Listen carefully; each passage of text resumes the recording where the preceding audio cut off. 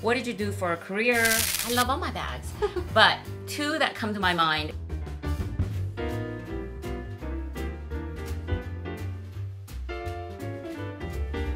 Hi everyone, welcome to my channel. I am here with my sister and you're seeing her for the first time. I'm tired of the masks. anyway, this is a Q&A video and I've asked you guys through a community post and through Instagram if you had any questions. So these are the questions that I recently got from you guys as well as some of the questions that I didn't get to last time we had a Q&A. So there's there's a lot. So um, let's just go through it. Here we go. Oh, by the way, if you're new to my channel, welcome. If you're returning, welcome back. I'd love it if you take a little bit of your time, if you like this kind of video, to click the subscribe button and the bell notification. I do videos about once a week. Anyway, back to the questions. Here we go. Bags and bunnies. What bags in your collection do you simultaneously love and hate? So now, just for clarity, I know you haven't really studied any of these questions, so you're yeah, I'm going gonna answer cold on the fly. So, So I'll give my honest opinions. yes. So what do you think? So I love all my bags. If I didn't love them, I wouldn't keep them. Hmm. But I will say there are aspects of certain bags that I don't love. Mm-hmm. So, for example, my boy bag with top handle, I got the large size. It's, it was the new medium, and now I think they call it the large. And I wish it mm-hmm. was a little bit smaller. Both that bag and my Lady Dior that has all that has the matte black studs all over it are very heavy. So that aspect of those two bags I don't love. But But, when I love my bag. I love the look of them. When you when you wear it, do you just go, "Oh, I just want to take it off because it's so heavy"? No, no, but I wouldn't carry that either of those bags for like an all day excursion or something. Mm. Right. But if I'm going to run a quick errand or something like that, I love the way they look. They're Right. both super edgy, kind of, you know, great, kind of masculine, trendier bags that I love the styling. you you mentioned two bags that it's on my on my channel so i'll link those two videos that she her unboxings of that in the description box for me i actually thought about this because initially i'm like i love all my bags but two that come to my mind is petit noe which I got it because I wanted to be cool because I saw this young girl wearing carrying a petit noe and it was all beat up and I wanted it to be beat up, but I got a little stain on the bottom. I'm neurotic about it. I'm like, oh my god, I got a little stain, and um, So you know when you love something on somebody else and you're like, oh, I love that look, but you have to be honest with yourself. Is that really No, my that's look? not me. It's not me. I'm not that cool. Um, and it's it fits a lot, which is great, Mm-hmm. but it's got a really wide width, oh depth. Right, so when so I'm sticks wearing it, your body. yeah, it does stick out. And if, if I'm like, I was shopping recently. And I was carrying that, and it was like sort of hitting like the there's somebody else standing in between me and the clothes rack, and I felt like I had sort of. So I'm I'm like, ah, it's it's too wide. I feel like I feels like it's Do you feel wide. that way about your uh what's the Hermes orange bag? Oh, the toolbox? No, Toolbox. it's it's narrower. Oh, because I the think of size those, is small. Like in my head, Yeah, they're I both imagine boxy. them boxy. Yeah, they're both boxy bags. They're both square, sort of boxy, kind of bucket-looking bags. But the Petit Noe is bigger, Wider. and it's much wider. Yeah, so I don't hit other people with with the toolbox, toolbox. Mm-hmm. but I do hit. I feel like I've almost hit other people with my Petit Noe, so Mm-hmm. that irritates me. Anything And else? so, uh, yeah, uh, reissue two two six, and that is the. I mean, I love, I love the reissue style, but that square clasp, and I mentioned this before too. It's like I can't seem to get it. Just you don't. So the problem with it. Mademoiselle closure has like a little rectangular thing and then a rectangular frame around the flap. So you have to stick it in. You know, it's like those peg, you know, Yeah. games that you used to play Not as a very kid. Good at those. And you just need to line it up, and it goes right in, and then you turn the closure. You don't have any problem. I don't have any problem with Yeah, it. she's But- got the two. But there are other people who have mentioned that too. Yeah, Irene. From, yeah, Irene mentioned it. Yes, sister. okay, so next question is that Speedy 20 girl. If you had to choose one brand to buy from for the rest of your life, what would that brand be? So hmm. I can kind of cheat this question because I, if that means I can keep all the bags I currently have and then just forward going, I'm only buying one brand. Ah, That makes it an easier question for me. I would just say Hermes. I don't think that's what she meant, but okay. If that's not what she meant, if her, or- okay, or- well, let's answer it two ways. Okay. so that way, I would say going forward, I would just say Hermes because I think the quality is beautiful. It kind of in the scheme of the luxury world, those bags I think are made in such a way that they merit their price. Whereas I feel like other luxury brands. uh, if the intended question was you only have one luxury brand for your entire collection, what would it be? I would still probably say Hermes. Really? Yeah. Not me. So I would say if it was what I have and going forward, Mm-hmm. what it would be Hermes. I agree with you. I love I love the leather, and I feel like it's more durable than my Chanel's. I'm, I'm more nervous about my Chanel's. Okay. The other is if I could just have one uh, brand, I would say Louis Vuitton, only because I think the canvas, especially the canvas, is super durable. Mm-hmm, And I feel like, and even my, yeah, here we go. We're going to do a review of this. Even like my Speedy 20 and Empreinte leather, that Empreinte leather feels more, much. Very more robust. Mm-hmm. than my Caviar Chanel. I don't know why I feel that way. Okay. I'm more nervous with the Chanel's. Maybe it's the structure of the Chanel bags. Maybe. Maybe. Yeah, I don't could know. Yeah. I mean, but I will say I feel like the capucine leather that I have Oh, super durable. feels very durable. Yeah, So I agree with you on that sense. Yeah. Yeah. So that's that's it. So that's the way we'll answer it. Uh, this is Danny O. One is Christina your biggest YouTube fan, Maggie? sure. Yeah, I think so. You always watch. I always watch her If, if she hasn't commented, I will call her. And I say, "Have What you do you seen? think of what do this you think?" video? so you're you're my biggest fan, and I make you my biggest fan because I remind you. Did you see this video? have you watched it? What do you think? Who are your favorite Lux YouTubers and why? That's a really hard question because I do watch a handful of people. I don't watch a lot. Um, I really like those folks who delve into the reviews, you know, the pros and cons, you know, how someone might have found great deals. Um, Like Kim, Yeah. Irene, they do uh, evaluations. Oh, which- Kim from, from KK, KK loves loves- this. I love her. So, like, I watch those kinds of videos. I really do not watch unboxings. I do not watch vloggers. I do not watch, generally speaking. I mean, there might In the be Lux, in the because you the watch Lux- other genre. right, but I think in that in this luxury community, I don't watch the vast majority Mm. of the kinds of videos a lot of people put out. Um, big hauls, not interested because that's not my life. So why would I? I don't Watch see a else. value to me of watching that. I mean, I guess living vicariously through someone that Mm-hmm. No, can it be makes fun. me jealous. So, so yeah, I would say Irene Yeah. and Kim. Hmm.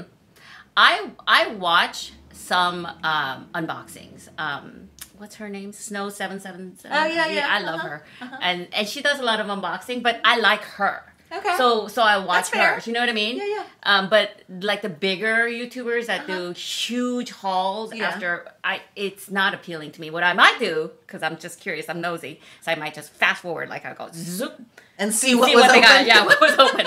ah, you got that that that that that. Um, and then Oh, what? I will say there's one other person, um, Cranley Place. Oh yes, I she's good. love her videos. She does all these really in-depth how to tie Hermes scarves, how does she stores them, all the different, you know, kind of new designs coming out. I'm Yeah, like obsessed with her channel. She does a lot of research. Oh yeah. Yeah. I mean, it's like I'm getting a history lesson Yeah, sometimes. yeah, I love it. Yeah, she's very good. She's very good, and um, Lux YouTubers. I have, I have, I love so many. Yeah, you've been in this community because I've been in this community for a long time. But I have to say, I like Andre. Mm-hmm. I love hers, and I watch hers, even though she doesn't do as many luxury anymore, because I like her. Mm-hmm. You know what I mean? So I'll watch her vlogs. But I think that's getting away from the question of which luxury YouTubers do you watch. LV Coffee, LV Coffee Lover. I love her personality. Irene, Kim, Mm-hmm. the, the people that you mentioned.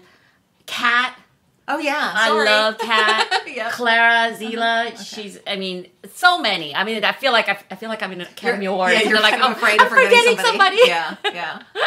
Um, that's the downside Yeah. of doing this Be on the Rachel. fly. anyway, okay. Maxie's mommy. Hi, Maxie's mommy. Uh, how do you store your designer silk or cashmere shawls to protect them? So I have a little space be- in my nightstand by my bed um, where I basically just stack everything. I don't have a huge collection, so I don't feel the need to like put each one in a separate cubby or something like that. I think maybe in the future I might if I were more organized. But I do also make sure that I have cedar blocks um, that I sand at least, you know, I try to once a month so that you know, won't attract moths and things like that, things that could damage. But it's a dry um, area that has plenty of ventilation and that does not get any direct sunlight. Yeah, me too. No, in my closet, no direct sunlight. I hang a, things that I tend to wear. I just I'm too lazy to fold it and put it back in, so I'll just hang it. Mm-hmm. But I do have like that jasmine pouch. Is it mm-hmm. jasmine that's supposed to get the moth away? Oh, okay. Yeah, I got it on Amazon. I'll link it if I when I if I find. But Yeah, that's how and I don't want it. a mothy smell. You don't want to Yeah. put it in something enclosed so that it can get musty. Or we live in a relatively humid climate, so we don't want you know humidity to affect it. So you want it in an open enough space, I think. Mm-hmm. Um, and again, not in direct sunlight. Right. Okay. Next. M believe. What makes exotic leathers worse than calfskin and lamb leather? Worse than? Mm-hmm. I don't think it's worse than. I Why? love my exotic leather bag bags. Wait. I understand the concerns from the videos of exotics that PETA and other organizations have released. I am still confused why this is different than non exotic leathers. Mm-hmm. I know some of these animals are used for food, but it's my understanding that those, ra- those raised for luxury leather hides are different than those raised for food production. I would love to hear from anyone who is knowledgeable on this topic. So, those of you who are more knowledgeable than us, please comment below. But what do you think? So I think it may depend on the the company from whom you're buying the luxury bags. So I have no idea how like Nancy Gonzalez She does a lot gets her exotic Exotics. leathers. I have no idea.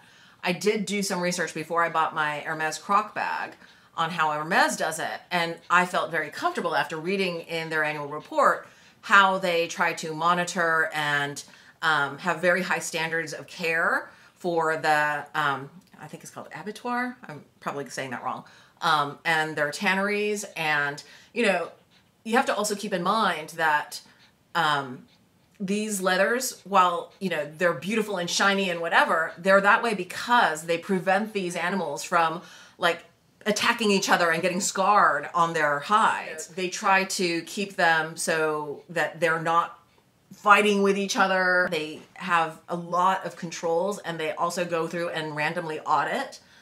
I, I know that there was one kind of expose that PETA had done on Hermes, and Hermes shut that particular farm down, and they really go through a lot of efforts to try to make sure that the animals are treated What about Louis. Vuitton? So if you're particularly interested in a particular brand, I would highly recommend going through and try to all of their these companies have public filings. So you can see how they talk about what their care measures are and how they maintain their standards.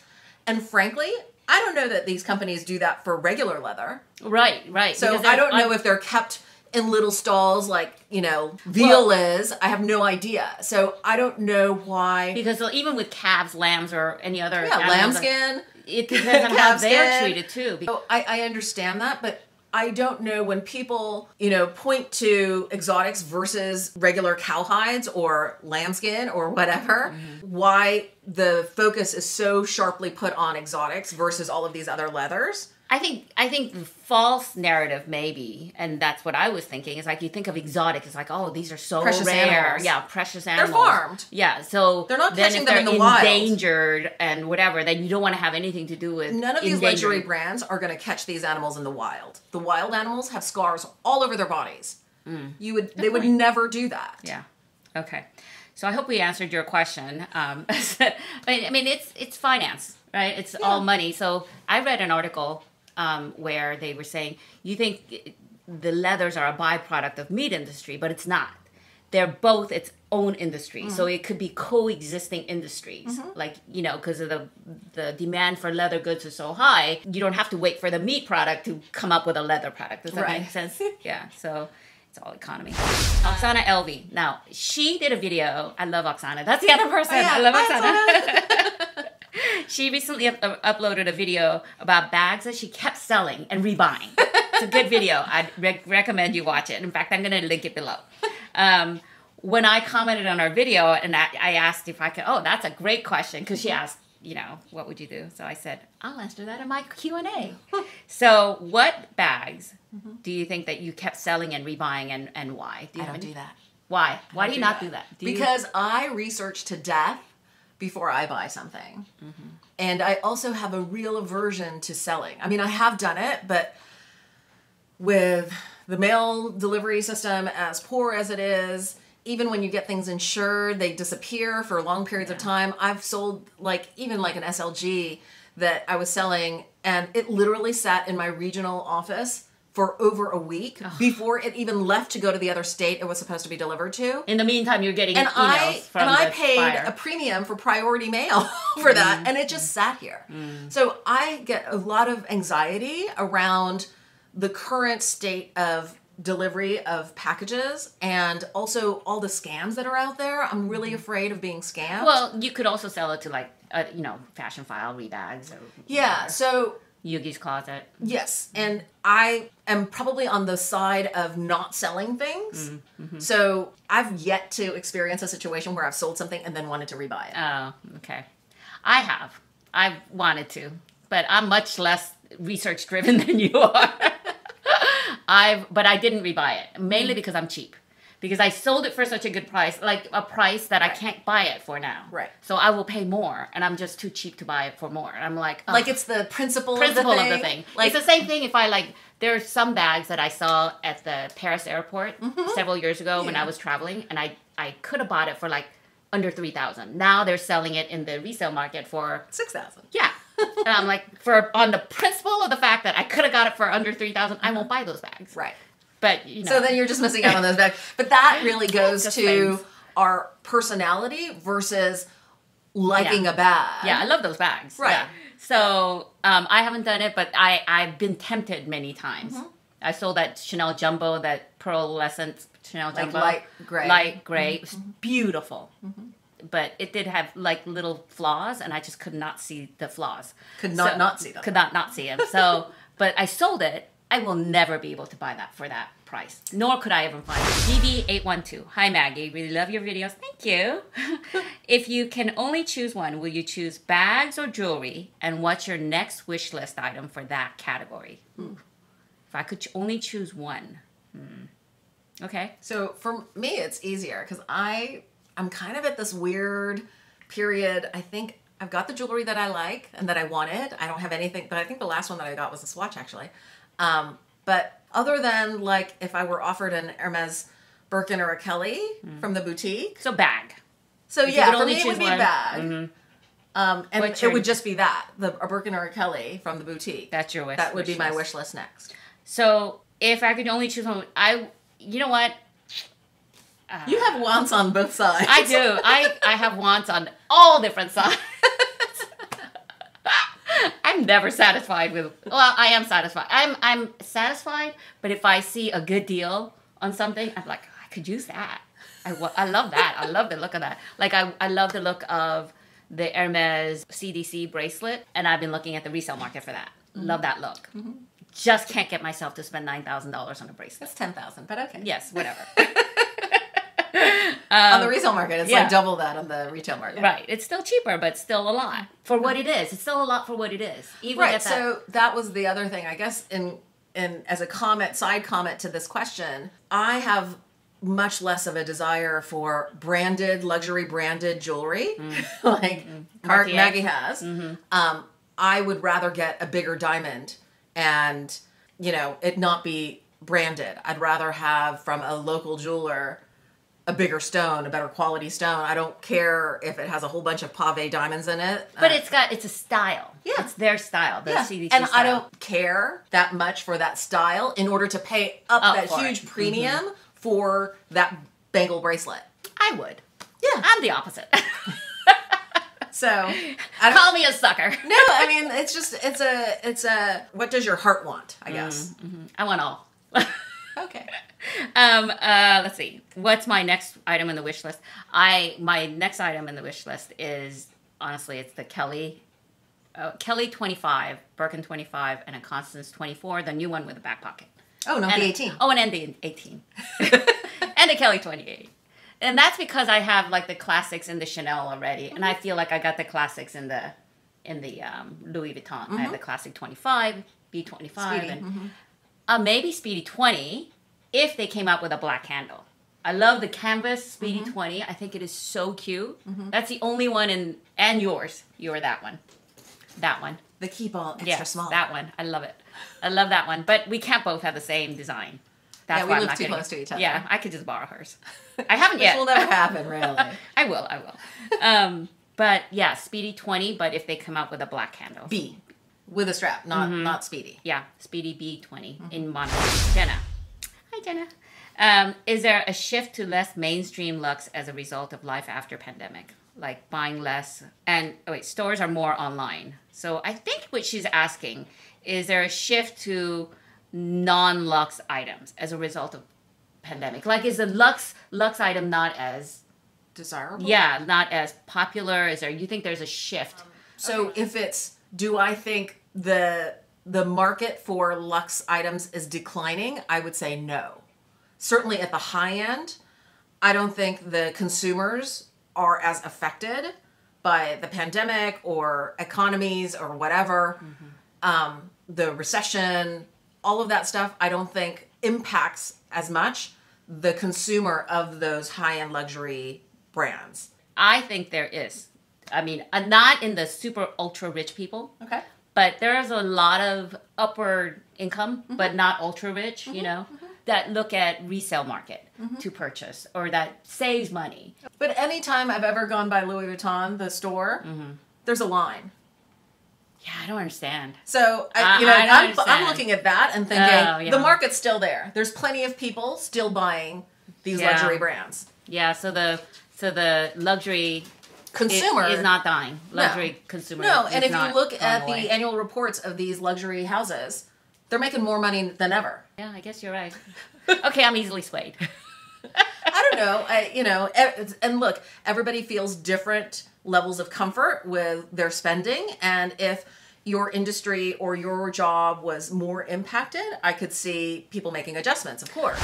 Adriana's Corner. What did you do for a career? I know you've mentioned you went to medical school, but then worked from home. So I didn't go to medical school. Um, I did I. Yeah. um, I got my doctor of pharmacy, um, and then I was a, a uh, faculty at a university. Um, and then I did consulting work for a pharmaceutical company um, after I left that job. But then afterwards, I took some time away to raise my kids. And then now I do um, real estate and investment and um, management. So I went to law school and I was a lawyer, practiced for a couple dozen, oh, no, 20 plus years. Yeah, long a long time. Um, I worked in New York City initially, worked at a huge sweatshop of a law firm. Then I went into Well, it's a big law firm. I don't know. Yeah, yeah, I would say it's sweatshop. yeah. You worked hard.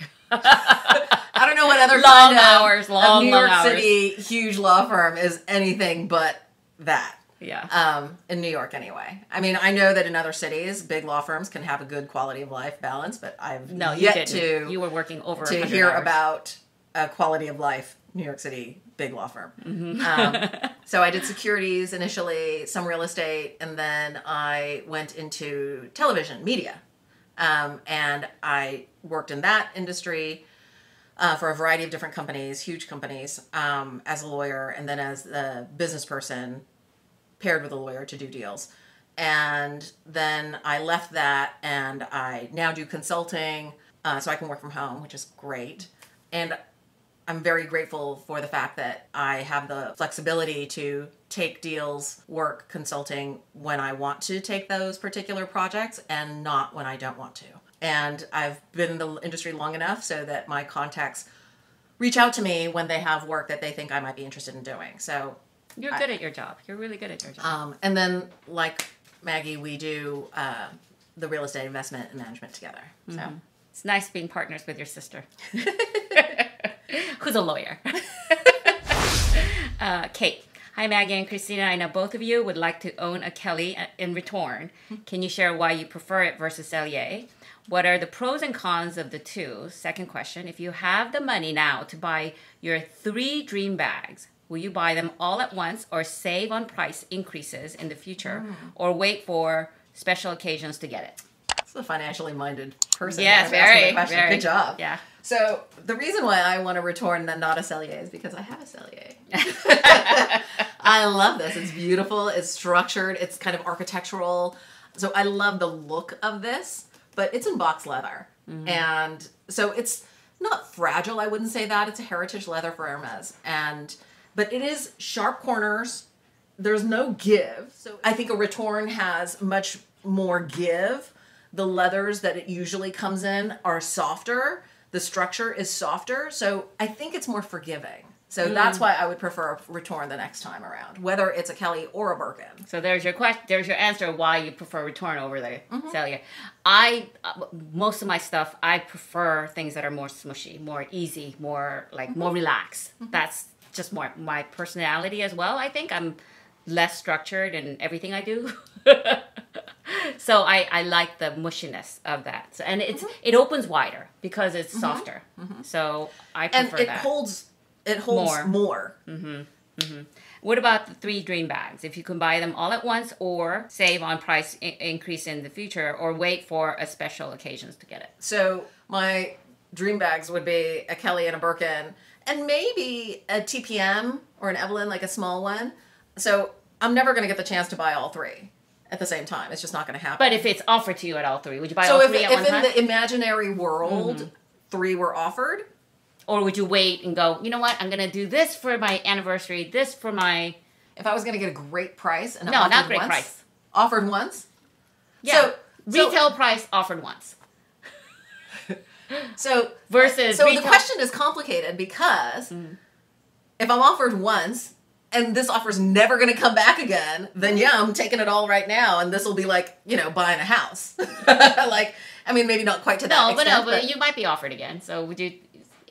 You're talking Kelly, but what if what if it's like you know a Chanel Jumbo or something else? Would you take all three bags at one time, or would you take I don't take? think so because I think I would rather for those kinds of big purchases, I'd rather get one and enjoy it mm-hmm. and really test it out and try it out and really love it. I'm not one of those people who can keep buying things and have a collection build up and be able like I will never be a person who can point to a bag and say I've never worn that. Like not going to happen. If I buy something, I'm going to be wearing, Wearing it, it. or using it. So you so would- I don't think I would feel comfortable getting three at once. So you would wait for special occasions. I don't even know if it's special occasions, but I think I would just spread it out. Like You- enjoy each But, one. but you always have special occasions. When you buy something expensive, you're just like, that's for my 50th birthday, which is coming two years from now. now all my secrets are out. Um, shh. Uh, Your husband doesn't watch, so we're good. he's not there. um, anyway, I would. I usually try to put a reason to a big purchase, but that's just to like, you know, make me feel better. less bad about spending that kind of money. Less guilty. yeah. I would have to say, if I saw all three of my dream bags at one time offered, whatever it is, I'll buy it all. Okay. Rather than, because our, we don't really have a special occasion. Like, your dog, man. Sorry. special so we go out to like we go on trips or we go on for special occasions mm-hmm. or to just out to dinner just the 2 of mm-hmm. us or go out to see a movie for our special occasions and then if i want to buy something i might tack it on as a special occasion kind of a thing Yeah, we're in Hawaii for X reason. Yeah. And we happen to be at the Cartier Or- store and we'll buy two bracelets. or, oh, or i'll just go you know i see this really good deal on a chanel bag like the real mm-hmm. real video and i'll say oh my it's my what was it Anniversary. anniversary, mm-hmm. yeah but it didn't have to be my anniversary if i saw a good deal i would have just bought it I like to label it as this was for X. I think that's it. Okay. I think that's it. So thank you so much for. if you stuck around this long, Yeah, yeah, that's a long video. So I think this is the longest I've ever done. Thank you so much for asking these questions. These were great questions. If you have any future questions, you can ask in in the comment section below. And and if you get enough, I'll do we'll do another Q and A. Right? Good. Okay, Thanks thank you. Thank you everybody for watching. And if you like this video, please give this a thumbs up. Please don't forget to subscribe, click the bell notification and bell notification and what? Thanks for watching. okay, bye.